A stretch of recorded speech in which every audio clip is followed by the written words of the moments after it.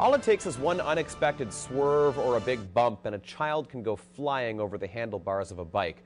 Today, some students in Barrie got an excellent lesson on the things they need most to stay safe. That's how soft your brain is, and it's jello like, and it's protected by your skull, which is three pennies thick. So this is part of a province wide program called Helmets on Kids. And the genesis of the program is that uh, I'm a personal injury lawyer, and I'm a part of an organization of personal injury lawyers across the province called the Ontario Trial Lawyers Association. We see too many families coming into our office with children that have been seriously brain injured because they aren't wearing helmets. So about 10 years ago, we started up a program where we started distributing helmets to young people across the province. Two years ago, we brought the program to Simcoe County. So what we're doing is we're doing safety awareness programs and helmet distribution across the county.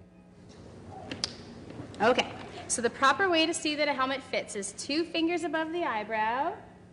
So this helmet is fitting two fingers above her eyebrow, four along the ears, so the V's around her ears on both sides, and one under the chin. And she's got, you can get one fin finger under this chin.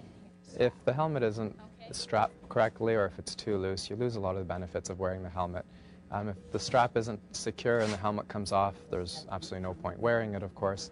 And if the helmet is very loose fitting, then the head just ends up bouncing around in the helmet itself and provides very little protection. Fortunately, the last few years, uh, the number of children we see with head injuries while they're wearing helmets is, is very rare. Um, and we really don't see children biking without helmets, fortunately. And police also remind parents that it's an $85 fine for not wearing a helmet.